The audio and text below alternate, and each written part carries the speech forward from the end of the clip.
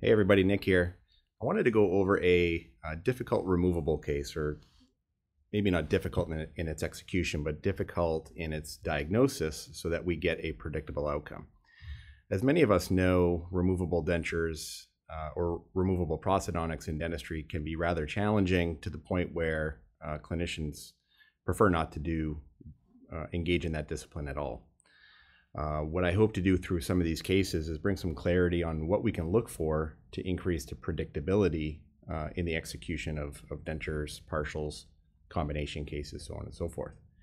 So I wanted to go over this case here. I call it the quandary of denture jaw relations, and I think we'll we'll get a strong sense of what the quandary was and what I did as I discovered that in the in the operatory and what I did about it.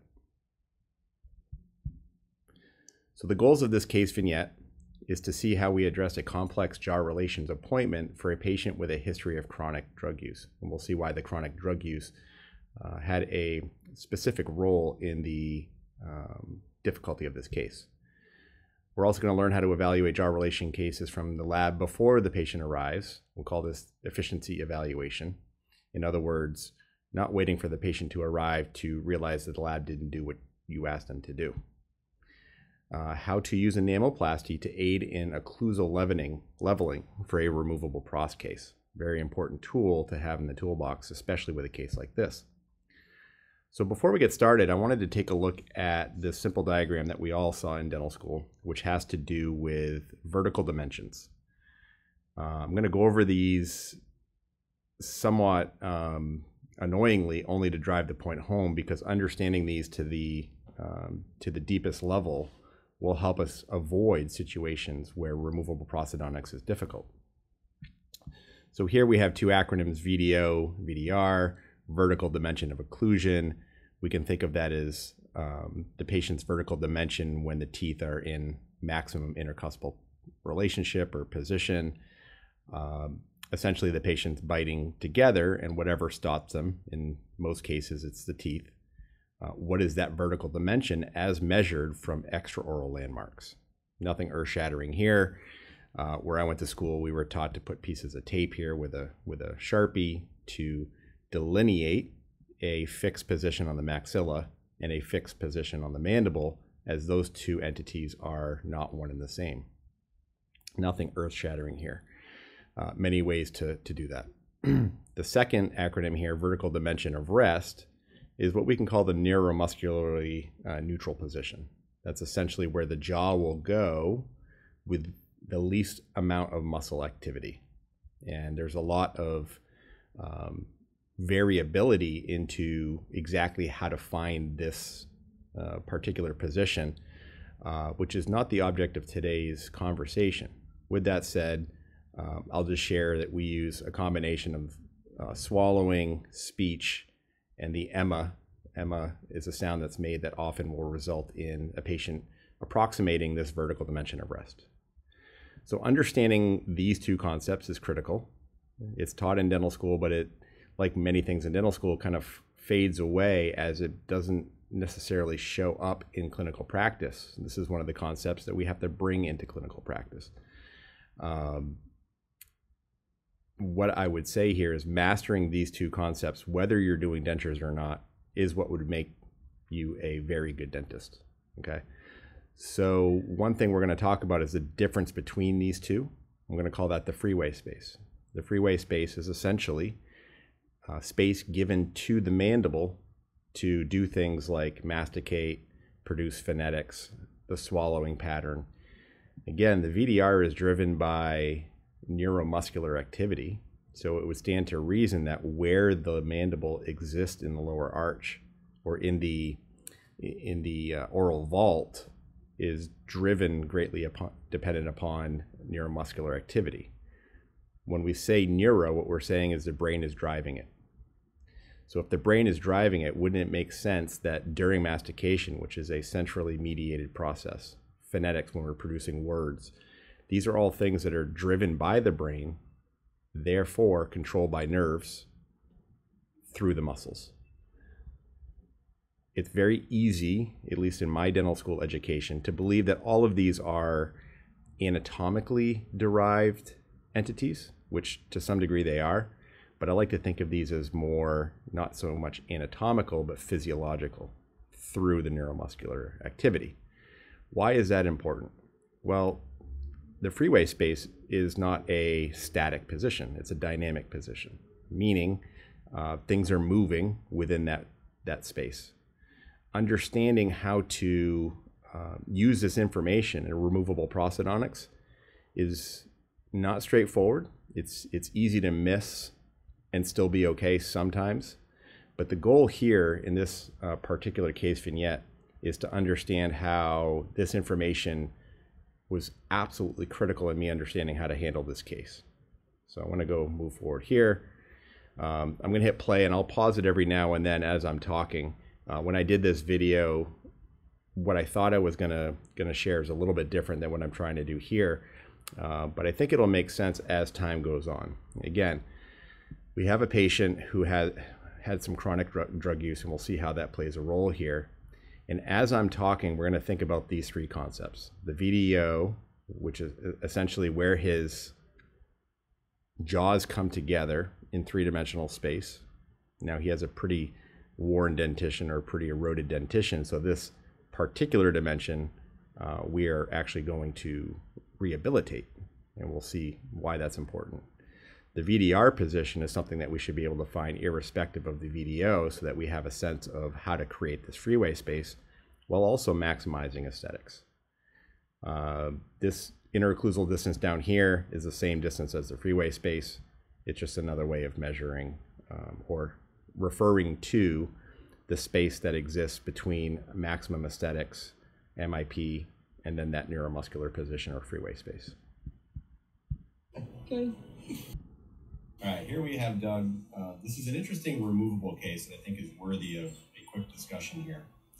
So wax rim came in, the wax rim was set very well by the lab. I tried it in, and based on his rest lip position, the wax rim looked good. So I had marked the midline, marked his canines, maximum smile line.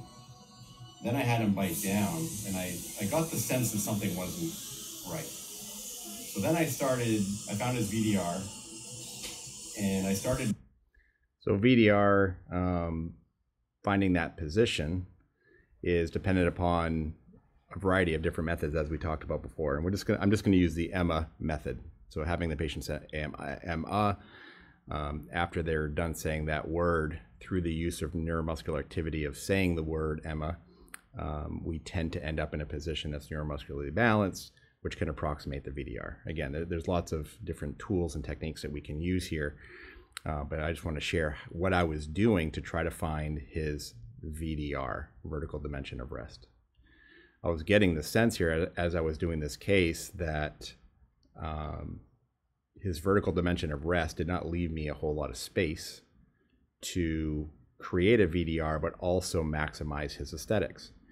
As we know, the upper wax rim is more or less driven by aesthetics, and then the vertical dimension is driven by the occlusal surface of the wax rim and or the lower uh, wax rim and or natural teeth. So there's a balance here sometimes when we're trying to maximize aesthetics, but trying to alter the VDO in a way that is maximally functioning.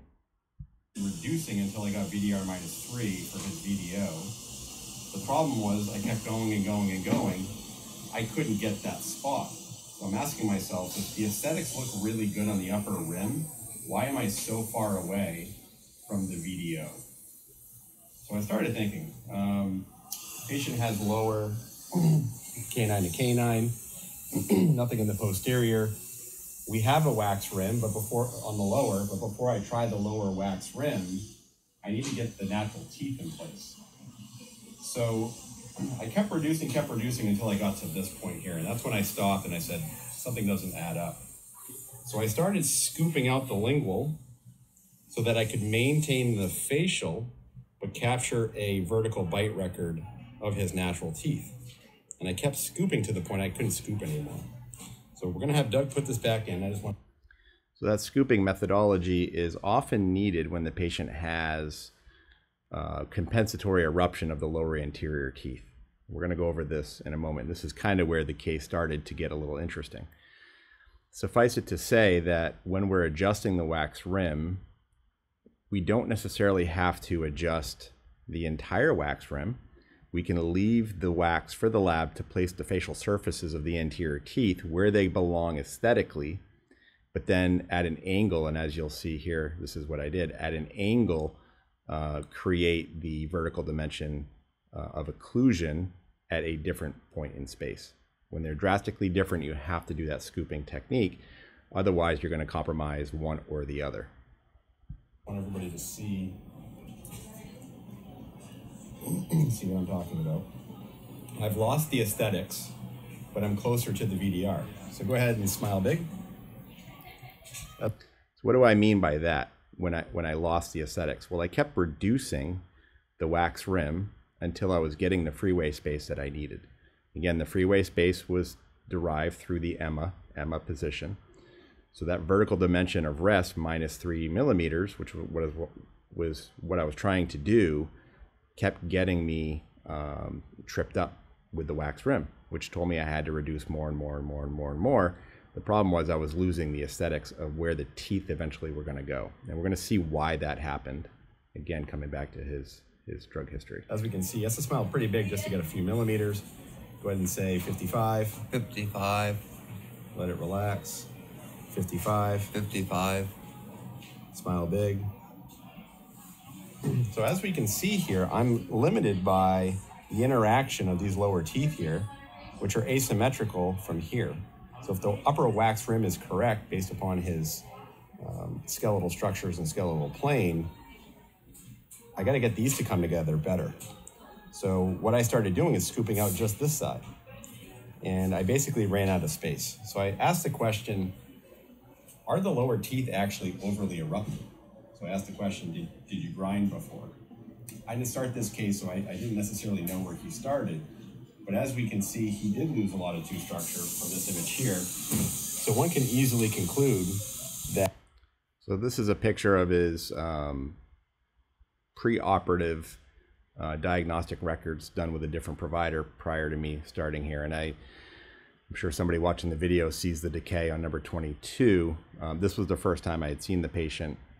Um, he has nothing on the upper, so we're rushing pretty fast to get him an upper denture, and then we're obviously going to take care of the lower teeth. So I can appreciate that that's a little backwards. Um, clinical dentistry is not always so cut and dry and clean.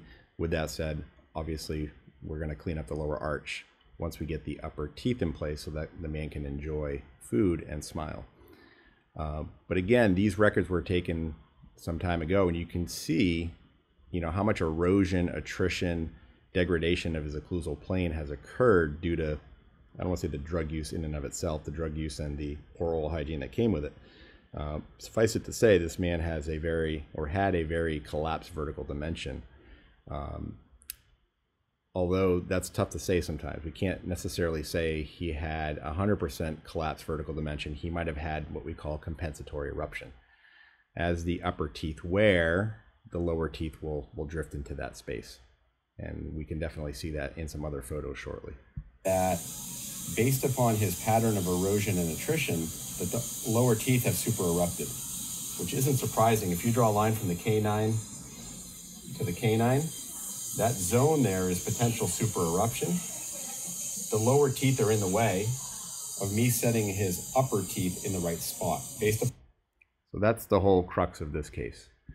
Because his lower teeth had erupted so much within his space, the vertical dimension of rest, minus three millimeters, does not leave me enough space to give him freeway space while also putting the upper teeth where they need to go. Now, if we don't understand this, more often than not, we might be okay.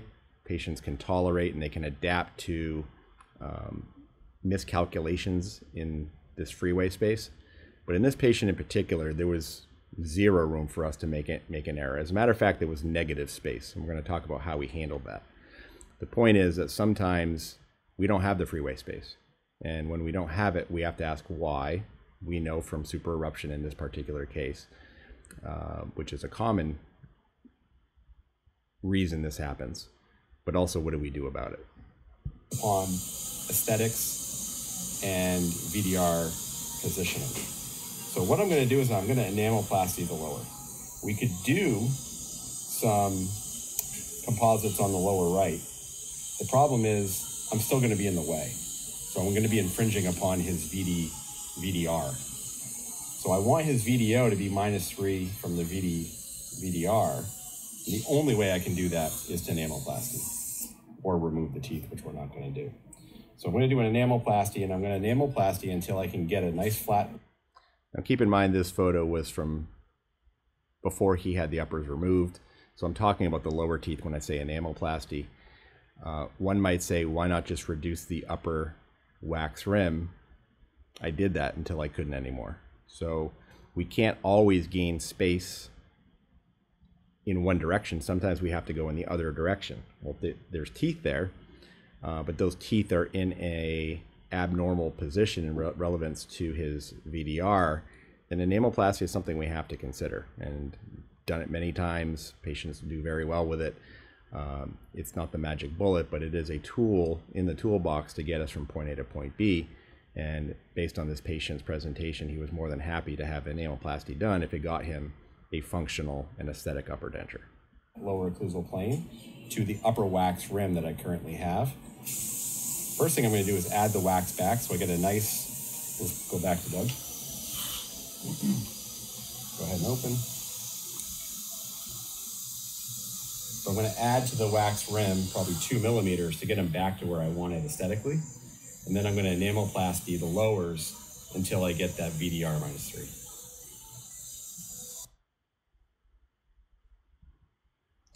All right, so here's a, an image I pulled off the, the internet that shows what happens to lower teeth when upper teeth wear. So it's just a stock photo, but we can see here we get what's called an exaggerated curve of Spee.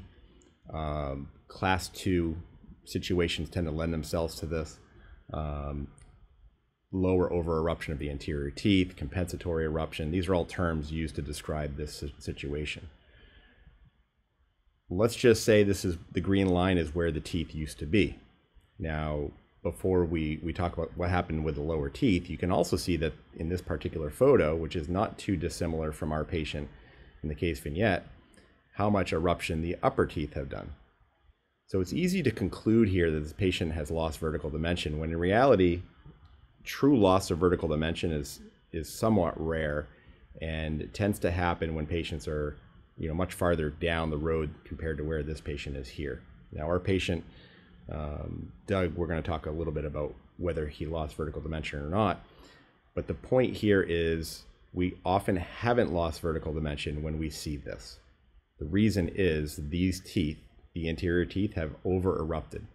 If we draw a line from the canine to the canine, we can see that there's probably three to four millimeters of pink gingiva here uh, that probably wasn't there when the patient's teeth had erupted. They, the cervical margin of their CEJ was probably up here, but as the incisal edge wore, teeth will always move until they find resistance, and it just kept erupting, erupting, erupting, erupting as it was getting eroded and or attritted um, to the point where we are here. So the point is teeth will move and, and erupt until they, they find that sweet spot. And what we're left with is inadequate prosthetic space to do our dentistry.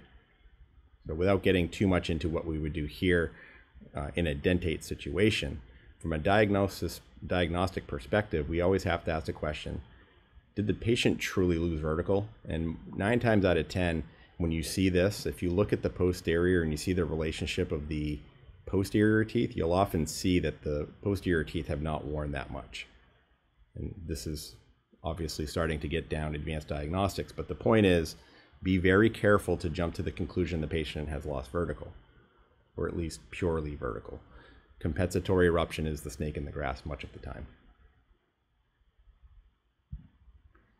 So there's the, there's the distance uh, that has been created due to erosion or attrition in this patient. And as we can see, the lower teeth have erupted into that space.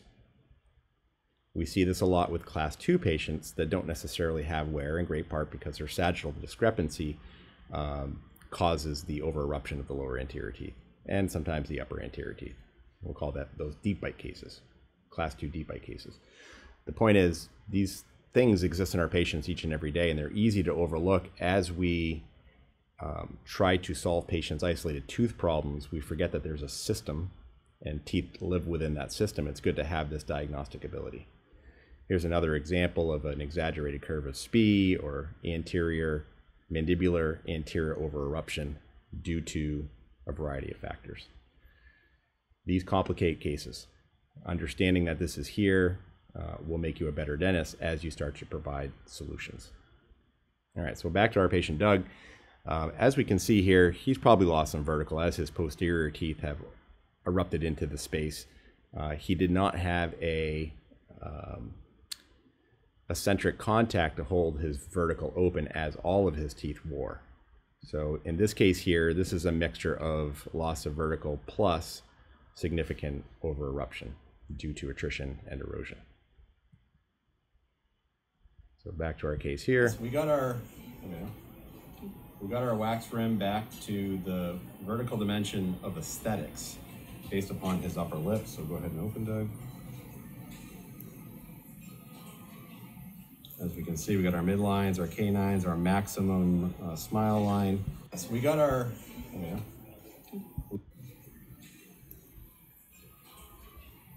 Now, what's important to note here, what the lab sent me initially was actually pretty good. I was using, um, how can I say this? I ended up reducing all of that pink. So that pink was all yellow when it came back from the lab, but I over reduced it because I was trying to chase that balance between aesthetics and his VDR. Unfortunately, I realized I couldn't do both, so I added the pink back, and that's what you're seeing here. And now I'm going to maximize aesthetics of the upper wax rim and then remove or reduce or enamelplasty the lower teeth so that I create the freeway space, not by going up in the wax rim, but by going down in his natural teeth. As we can see, we got our midlines, our canines, our maximum uh, smile line. Go ahead and say 55, 55, 55. 55, So I'm a little inside his wet dry line. Say 55 again. 55, So I want to add some more wax to the facial here. Okay, go ahead and open.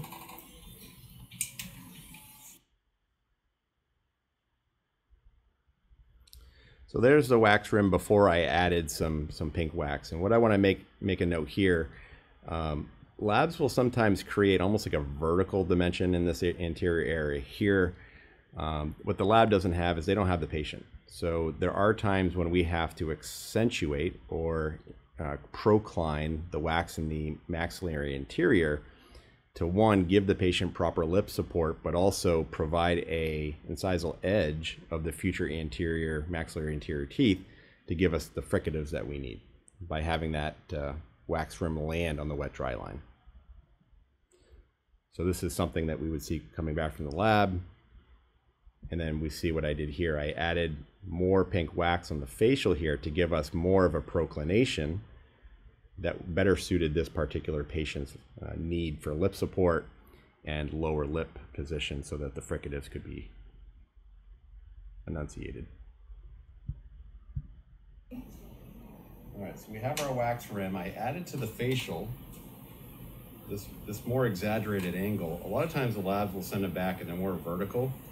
The way to tell where this needs to go is based upon the fricatives. So you had the patient say 55, and in that other video, I think we got a pretty good sense that he was uh, very deficient in the three-dimensional position of the future teeth based upon his ability to do the fricative.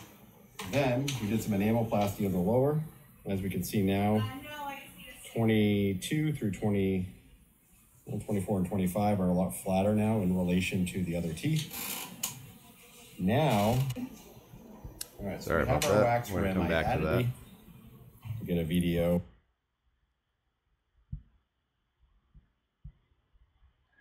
So here I was talking about the fact that I did enamelplasty on the left side, and it's not a tip, it's not uncommon to have a non-symmetrical aspect to that over eruption. As we know, patients' tendency to grind, brux, clench uh, is not always bilateral or symmetrical. So as this person lost their tooth structure when the upper arch was becoming um, destroyed, it's not uncommon that the patient was going predominantly to one side, which would accentuate how much over eruption there was. So my point here is I did not enamelplasty all of the teeth. I enamelplasty the side that was over erupted that was getting in the way of my freeway space. 24 and 25 are a lot flatter now in relation to the other teeth. Now, when we try the wax rim in, we're able to get his VDR minus three, get a VDO proper position. Go ahead and bite down.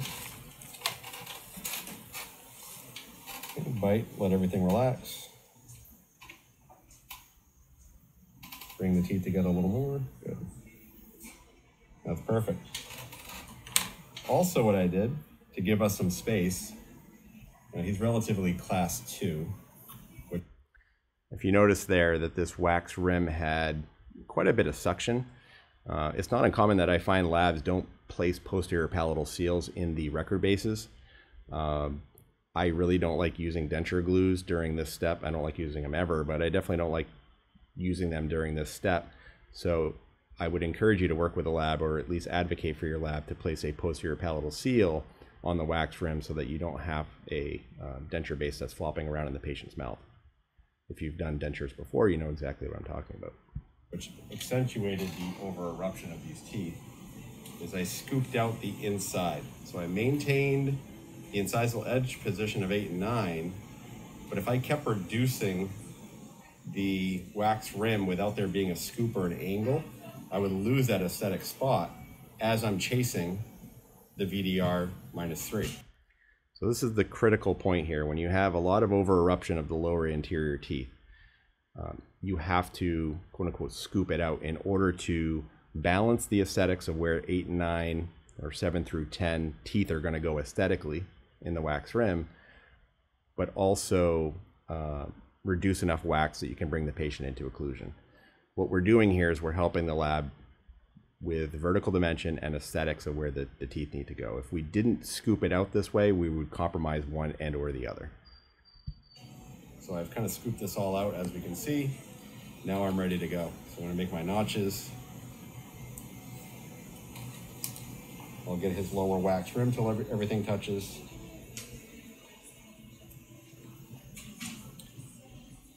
Yeah, and then we'll see you on the other side. All right, so the summary points of this case vignette one, dentures can be difficult. Uh, they're hard enough when the patient presents with what we would maybe quote normal anatomy. Uh, but if you have a curveball or a snake in the grass just waiting to, to make the case difficult, uh, it can be rather frustrating. So, our goal here today was to open our eyes into seeing one of those potential pitfalls so that you know how to handle the case moving forward. Compensatory eruption, or as Frank Spear calls it, can complicate removable prosthodontics. Best to see it before it gives one brain damage. Compensatory eruption, over eruption, changes in occlusal planes, understanding how this happened before you do your, your records to see if it's a case that you should handle or refer to a prosthodontist. Understanding freeway space and its relation to the VDR and the VDO is a critical concept to master. I think we, we got a pretty good sense of why that is in this case here. Knowing how to modify the wax rim in all dimensions, vertically, creating that oblique angle for the anterior incisals, um, understanding how to use a, uh, a Fox plane, understanding the fricatives and where the buccal flanges need to go. All of these things are important because the lab, again, doesn't have the patient's face. They don't have the dy- dynamics of how that patient is functioning uh, when they have it in, in their mouth. All they have is a, is a model. And lastly, dentures can be difficult. Yet, mastery of removable is a critical skill for every practicing dentist. So, the point here is that these concepts make us better dentate dentists. So it's very easy to say, I don't need to know this because I'm not going to do dentures. There are some states out there uh, where denturism is a, is a common thing where we can refer them out. Um, give the tough cases to the prosthodontist, but you should know how to do the more straightforward cases or at least have an understanding in the diagnosis so that you treat your patients the way they need to be treated. So I hope this helps. If you have any questions, leave it in the comment section below. Thank you.